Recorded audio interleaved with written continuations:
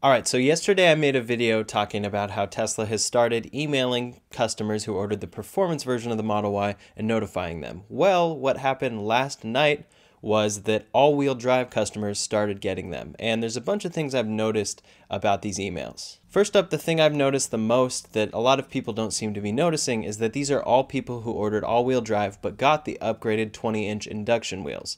So I'm pretty sure Tesla is just going in spec order. They're not just honoring the pre-orders in order. So it seems like they're to honor and deliver all the different customers who ordered the performance first. And that doesn't matter when you ordered it. I've heard from people who ordered last month or even earlier this month that have already gotten a notification versus someone who ordered on the original announcement date and they ordered the all-wheel drive but they got the 19 inch wheels, they probably haven't gotten an email yet because now it seems like Tesla's moving on to the all wheel drive with the 20 inch wheels. So I'm anticipating that the 19 inch wheels will be next, and that's what I'm getting. So I'm expecting that the all wheel drive with the 19 inch wheels will probably be the most popular variation of the Model Y. So I'm still pretty far back in that queue. I ordered in October and it started in March. So maybe I won't get an email soon, but maybe I'll get one tonight. It's going really quickly. So I think it's a combination of both less demand than we expected and then higher production than we expected because it seems like Tesla's really been ramping this up and they're emailing tons of customers about delivering them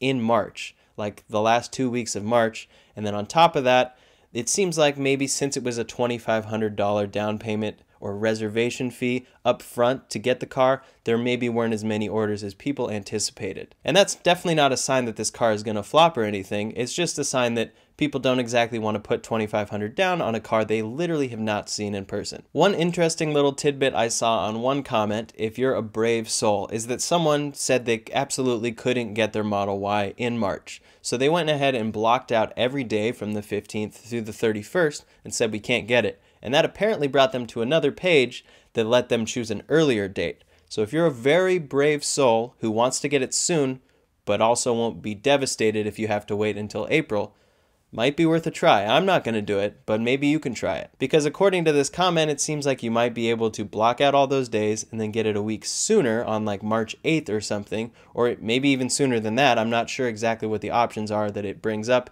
if this is true. And then you would get it sooner than everyone else. But the downside is that if you block out those days and then that page doesn't come up, then you just blocked out all of March and you're going to have to wait till April. So we knew the seven seater was going to be delayed, but what Tesla is actually doing, and I think this is just a courtesy to customers who ordered the seven seater, is they're actually reaching out and saying that you can downgrade from the seven seater to the five seater and it'll save you $3,000 and you can actually schedule your delivery for March. If not, it's not coming until 2021. The email actually officially says, We want to help Model Y join your home as soon as possible. Your order is configured with the seven seat interior, which is not estimated to begin production until 2021. If you'd like to take delivery of your Model Y next month, you can adjust your order to the standard five seat interior, removing the $3,000 seven seat interior upgrade cost contact a Tesla advisor to update your order today. Now, Electrek's take on this is that this is a sign of high demand and that they've essentially made more cars than they can deliver because they're going off of the fact that they've probably already notified everyone who got a performance and they're almost done, or they already notified everyone who got an all wheel drive.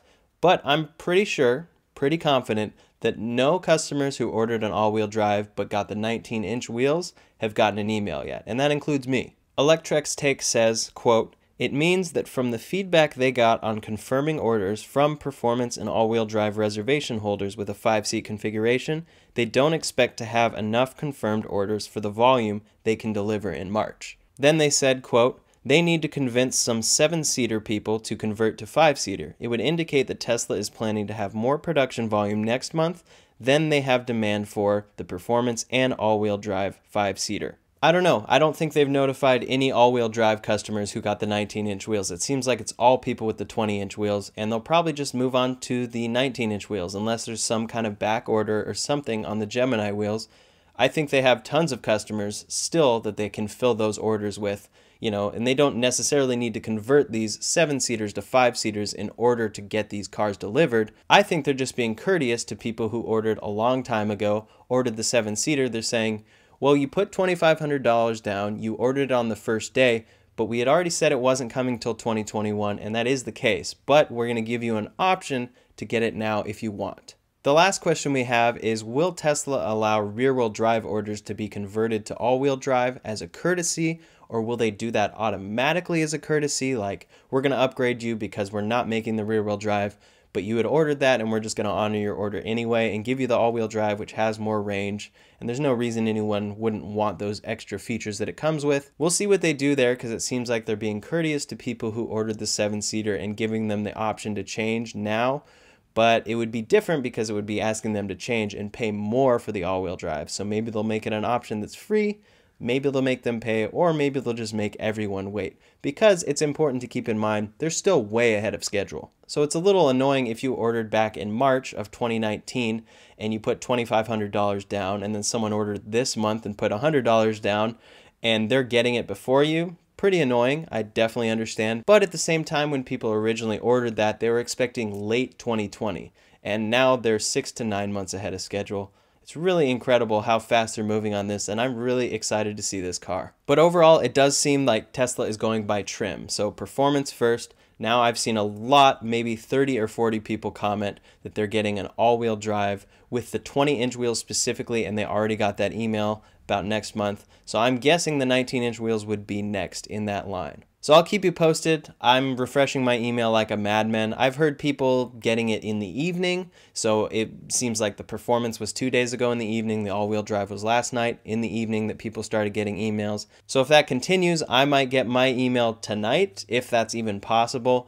or maybe all-wheel drive customers who got the 19-inch wheels will at least start getting them, and I could still be way far back in the queue. I have no idea how many pre-orders there are. I could be getting an email tonight, I could be getting it in two months, but it's going really, really quickly. Other than that, that's all the updates I wanted to give you. I just wanted to do this for the super nerds and the fans of the Model Y who are really looking forward to seeing it on the road or who ordered and are wondering when their order might come because a lot of people think if I didn't order performance, I'm not getting it anytime soon, but that does not seem to be the case. So I'll make sure to keep you updated on what happens with me and what's going on with everyone. And in the meantime, if you're not subscribed, make sure to subscribe to this channel. And if you liked the video, click that like button. I really appreciate it, and I'll see you on the next video.